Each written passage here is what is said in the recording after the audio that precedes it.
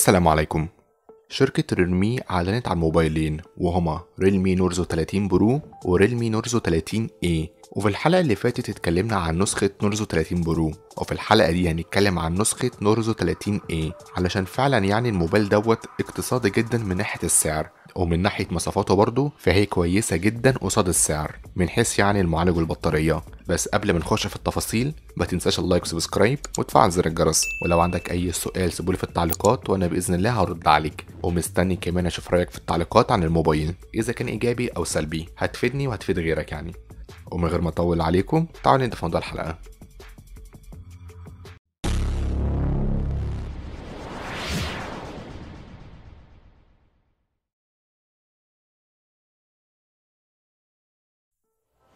أول حاجة هنبدأ بيها كعادة كل حلقة هي هيكل وخامات تصنيع الموبايل. الموبايل هيجي بطول 165 ملم وعرض 76 ملم وسمك 10 ملم وبوزن في حدود 205 جرام. وظهر الموبايل هنا هيجي مصنوع من البلاستيك مع frame من البلاستيك مع وجود اتنين كاميرا خلفية وفلاش LED والبصمة في ظهر الموبايل. وبيدعم تركيب شريحتين اتصال من نوع النانو مع دعم شبكات الجيل التاني والتالت والرابع. وبيدعم كمان منفذ السماعات التقليدي 3.5 وبالنسبة لصوت الموبايل الخارجي فطبيعي يعني بما ان الموبايل اقتصادي هيجي بصوت أحادي مش ستيريو. وما نقدرش نقول هنا ان ده في الموبايل علشان كل حاجة يعني قصادها السعر. وبالنسبة لي يعني مواصفات الهيكل وخامات التصنيع ديت فأنا شايفها كويسة جدا قصاد الفئة السعرية بتاعة الموبايل. على أساس يعني الظهر من البلاستيك مع frame من البلاستيك مع بصمة في ظهر الموبايل هنا بس فعلا الموبايل هنا بيقدم بطارية قوية ومعالج قوي نسبيا قصاد السعر. وبالنسبة للشاشة فالشاشة تيجي من نوع اي بي اس ال سي دي بمساحة 6.5 بوصة بدقة 720 في 1600 بكسل بأبعاد 20 إلى 9 بكثافة بكسلات 270 بكسل لكل بوصة. والشاشة ديت بتيجي بقوة إضاءة 570 نتس وبتستغل 82% من واجهة الموبايل الأمامية. ودي كل حاجة عن الشاشة. وطبعا هي شاشة تقليدية جدا ما فيهاش أي مميزات تميزها عن أي موبايل. بس طبعا ما أقدرش أقول عليها إنها فيها عيوب. علشان برضو سعر الموبايل رخيص. وهتعرف برضو الموبايل معوضك بإيه قصاد السعر دوت. اللي هتسمعه يعني في آخر الفيديو. وبالنسبة للرام والذاكرة فالموبايل هيجي نسختين النسخة الأولى 32 جيجا مع 3 جيجا RAM والنسخة التانية 64 جيجا مع 4 جيجا RAM. وبيدعم تركيب بطاقات تخزين خارجية.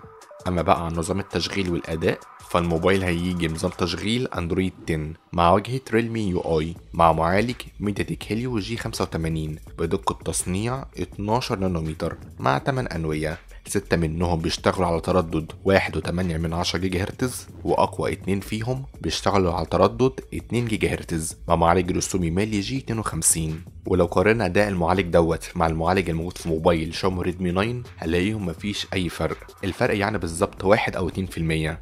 Realme Narzo 30 A بيجي بمعالج MediaTek Helio G 85 و Xiaomi Redmi 9 بيجي بمعالج MediaTek Helio G 80 ومن ناحية الأداء برضو الاتنين هيدوك نفس الأداء. يعني هيديك تجربة ممتازة جدا في الالعاب والبرامج قصاد السعر اللي هتدفعه. وبالنسبة للكاميرات فالموبايل هنا هيجي باتنين كاميرا خلفية الأولى بدقة 13 ميجا بكسل فتحه عدسة 2.2 والكاميرا التانية بدقة 2 ميجا بكسل فتحه عدسة 2.4 ومش معروف يعني استخدامها عن إيه بس غالبا يعني هتكون كاميرا sensor. وبيجي معاهم فلاش LED وبيدعموا تقنية البانوراما وال HDR ويقدر يصور فيديو بدقة full HD بسرعة 30 إطار في الثانية. وبالنسبة للكاميرا الأمامية فالموبايل هنا هيجي بكاميرا أمامية واحدة بدقة 8 ميجا بكسل فتحة عدسة 2.0 وبتدعم تقنية البانوراما وال HDR وتقدر تصور فيديو بدقة full HD بسرعة 30 إطار في الثانية. وبالنسبة يعني أداء وجودة الكاميرات ديت فمتوقع يعني إنها تديك نفس أداء كاميرا Xiaomi Redmi 9 عشان يعتبر هي هي نفس الأرقام ونفس ال sensor المستخدم فيه وبرضه بنفس فتحة العدسة. بس في Xiaomi Redmi 9 بيجي بأربع كاميرات ده بيجي باتنين كاميرا بس وغالبا برضه في حدود نفس السعر. وبالنسبة للتقنيات التانية فالموبايل هنا هيدعم تقنية ال Wi-Fi Direct والبلوتوث الإصدار الخامس زائد ان هو بيدعم ال GPS وكمان بيدعم الراديو بس استغنى عن تقنية NFC وخاصية التحكم عن بعد في الاجهزة الكهربائية والاتنين دول موجودين في موبايل Xiaomi Redmi 9 أما بقى بالنسبة للبطارية فالبطارية هنا بتيجي بسعة ضخمة جدا وهي 6000 ملي أمبير من نوع الليثيوم غير قابلة للازاله وبتدعم الشحن السريع بقوة 18 واط مع شاحن من نوع Type-C وبالنسبة يعني حجم البطارية ديت فحجمها كبير جدا ودايما بنلاحظها في شركة ريلمي بتحاول تميز الموبايلات الاقتصادية ببطارية حجمها ضخم وبسرعة شحن برضه معقولة. بس طبعا هتقعد معاك وقت كبير شوية علشان دي 6000 ملي أمبير هتتملي بسرعة شحن 18 واط. فهتطول معاك سنه وبالنسبة للألوان فالموبايل هيجي بلونين الأسود والأزرق. وأخيرا سعر الموبايل.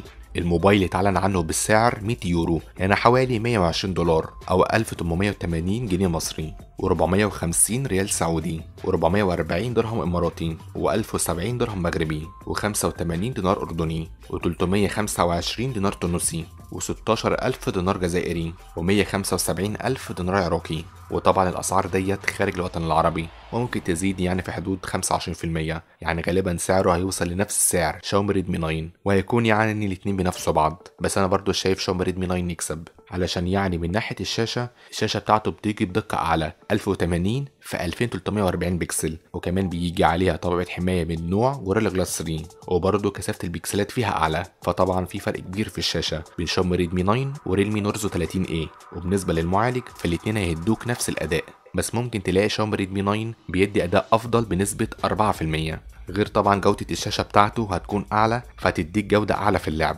ومن ناحية ال RAM والذاكرة فالاتنين متساويين أقل نسخة فيهم 32 جيجا مع 3 جيجا RAM. وبالنسبة للكاميرات ف Xiaomi Redmi 9 بيجي باتنين كاميرا زيادة واحدة بدقة 8 ميجا بكسل وهي كاميرا ultra wide. علشان تصور يعني بزاوية واسعة. والكاميرا التانية بدقة 5 ميجا بكسل وهي كاميرا macro. علشان لو حبيت يعني تصور حاجات صغيرة جدا مع إني مش شايف فيها أي لازمة.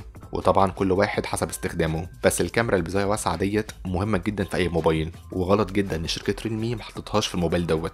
وبرده من ضمن الحاجات اللي بيتفوق فيها Xiaomi Redmi 9 إن هو بيدعم خاصية NFC وكمان بيدعم خاصية التحكم عن بعد في الأجهزة الكهربائية. مع إني برضه مش شايف ناس كتيرة بتستخدمها بس ممكن يعني تستخدمها في وقت الزنقة. وأنا عن نفسي احتجتها كذا مرة بس لما كان معايا Samsung Galaxy Note 4 قديم جدا بس قوي فعلا الموبايل دوت. ومن ناحية البطارية فدي أكتر حاجة بيتفوق فيها Realme Narzo 30A عشان بدل 5000 ملي أمبير في Xiaomi Redmi 9 بقت 6000 ملي أمبير ودي طبعا ميزة قوية جدا. بس كده أنا خلصت كل حاجة على الموبايل وقلت رأيي فيه وعايز كمان أشوف رأيك عنه في التعليقات. إذا كان إيجابي أو سلبي هتفيدني وهتفيد غيرك يعني. بس ما تنساش ال like و subscribe وتفعل زر الجرس. ولو عندك أي سؤال سيبولي في التعليقات وأنا بإذن الله هرد عليك. والسلام عليكم.